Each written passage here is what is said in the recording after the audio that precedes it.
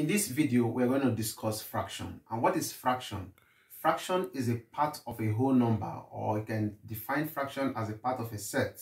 So at that point, we can represent fraction as a, a numerator dividing a denominator. This is what we call a numerator. A numerator. And this is denominator.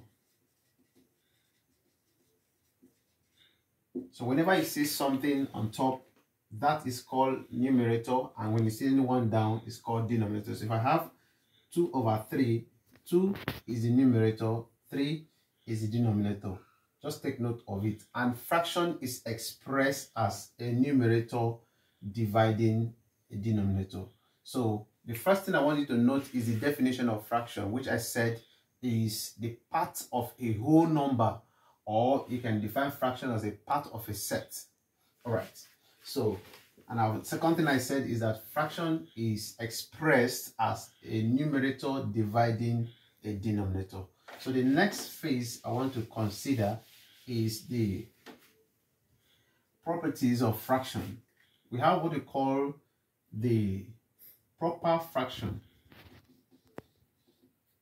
Proper fraction, I'm talking about the types of fraction. The first one is proper fraction. We have improper fraction. And we have mixed fraction. Also another one called decimal fraction, but in this video, I'm not going to discuss decimal fraction. So we're going to discuss these three in a moment. All right. Proper fraction is defined as when a numerator is lesser than a denominator. For example, if I have 2 over 5, this is numerator and is lesser than the denominator. You can see that 2 is lesser than this particular denominator. And this is called proper proper something that is balanced. You can see that 5 can comfortably carry 2 that's what it means that it is balanced. So that is an example. Another one it can be 1 over 2 it's an example of proper something that is balanced. It is also proper that we have 100 over 200 that's also proper even if i have 15 divided by 37 is also proper because the smaller number stays on top and the bigger number stays under. That's what is called proper fraction. The next one we're going to look into is improper fraction. Improper fraction is the reverse of proper fraction. So it is when a numerator is greater than the denominator. If I have 7 over 2, this is improper. 2 cannot carry 7. That's why we call it improper fraction. All right. So if I have 13 over 12, it is improper because the numerator is greater than the denominator.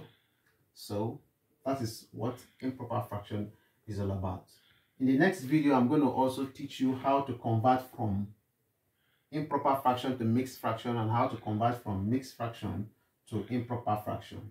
That will be done in the next video. All right.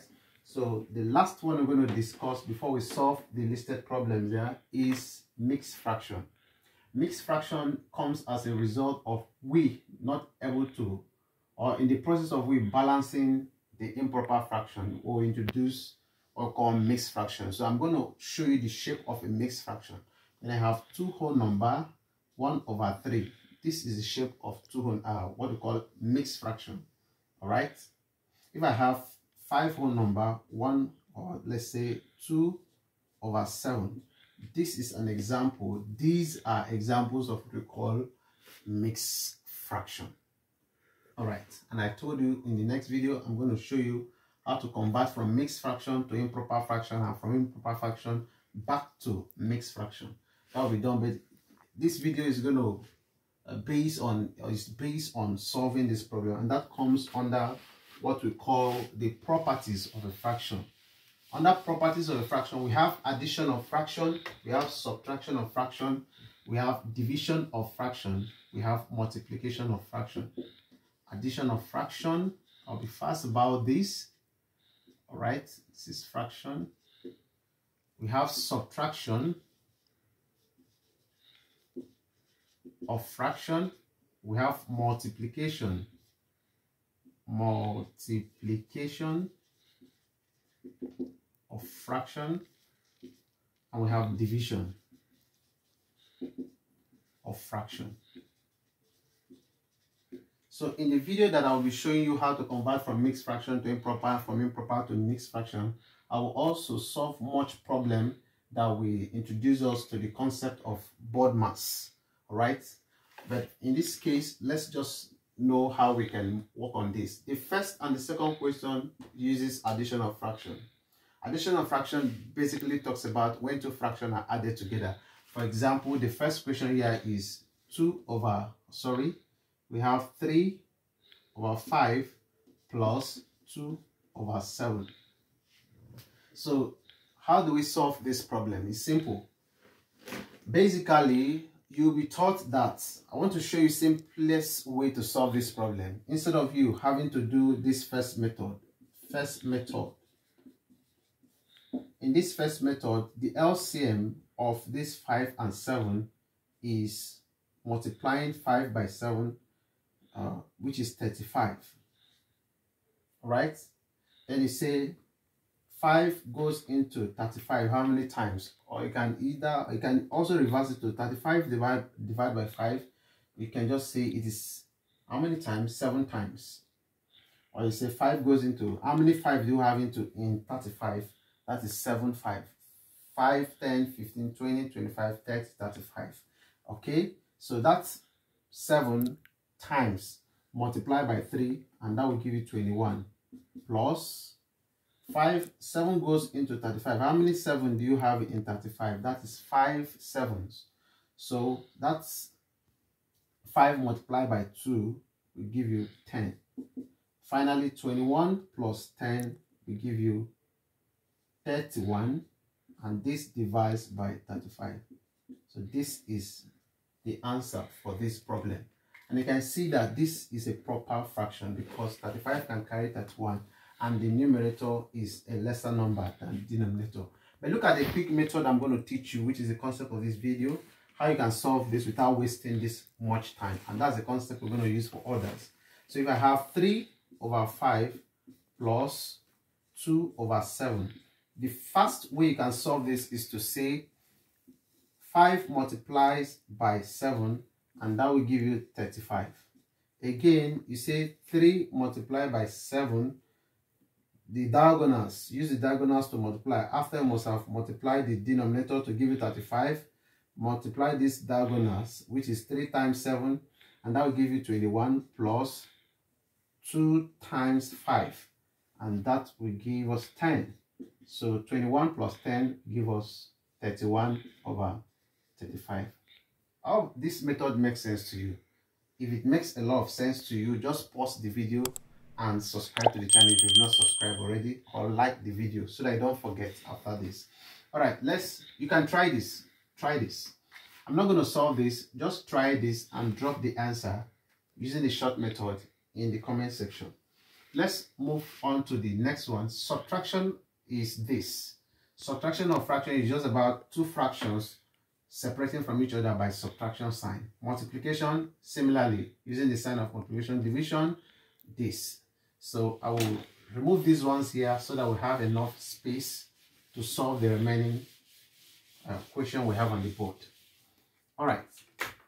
So if I solve this, it looks exactly like this. So you're going to solve this and send the answer or drop the answer in the comment section. If I solve the number 6, you're going to attempt this. So let's quickly solve number 4. Number 4, we have 4 over 5 times 2 over 3 just like okay in this multiplication it has I've not done subtraction right okay I'm going to do that let me finish with this the best way to do this is quick is a, is a quick one uh, 4 times 2 that is 8 and 5 times 3 That is 15. That's the answer. What you need to do is just to use the numerator to multiply by numerator, denominator by denominator. You just have the answer.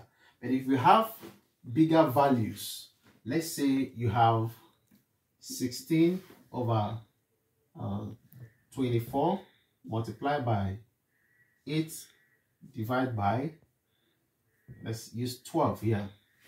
And then if you try to say 16 multiplied by this the numbers will be too big for you to work on. So you can still simplify it by saying 16 could be 2 times 8 all right can use something of this sort either 4 times 4 4 times 4 is also 16 24 6 times 4 6 times 4 should give you 24 are we correct? Yeah we should. Here 4 times 2 is the same thing as 8 12 4 times 3 is the same thing as 12 so at that point you can see that this can easily cancel out with this. This can also reduce this all right what else do we have? We have um i don't know i don't want to reduce this. So 4 times 2 here will give us the remaining one 4 times 2 is 8 and 6 times 3 will give you 6 plus 6 12 this is 18 so at this point they can still reduce it by saying 4 times 2 is 8 and 18 will give you I think 6 times 3 yeah 6 times 3 that would be too big too so at this point you can just reduce it with the simpler form of saying um 2 goes into 8 that will be 4 4 times 2 also into 18 that will be 9 times. So the final answer will be 4 over 9 that's how you can reduce bigger number uh, in order for you to get the answer without calculator. All right. Finally okay before the last one let's work on the minus which almost is the same thing with the plus. Uh, 5 over 7 minus 3 over 9 so like i told you the first thing you do is to multiply the denominator. 7 times 9 should give you that should be 63 all right? And then you multiply the diagonals.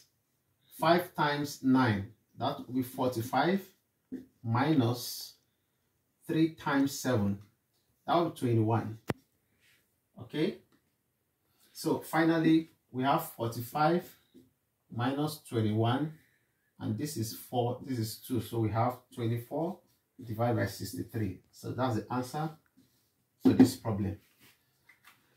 Okay i've already told you to solve this and also solve this. So and you're going to solve this. Let me work on this. We have 2 over 5 divided by 3 over 10 now this is a division sign what you should do a quick method you're going to do is this you're going to change the division sign to multiplication and flip the term after division sign. What do I mean by flip? Invert, turn upside down the term after division sign. So if I have 2 over 5 here, I will change the division sign to multiplication and I will flip the term. Turn it upside down, 10 over 3. So here you can easily say 2 times 10 is 20 and 5 times 3, that is 15. So this is the answer. If you are not to reduce it, this is improper fraction. I've also told you how that in the next video, I'll teach you how to change from improper fraction to mixed fraction so that it balances. So that is, if you've not subscribed to my channel, please click the subscribe button and also like this video if it makes a lot of sense to you. This video is actually meant for students who are in JSS1 down to JS3, you should take advantage. And if you miss this concept in your basic classes, you also would need to learn this quick method I use in this video so that it will help your solving process. Thank you very much for watching. Stay tuned.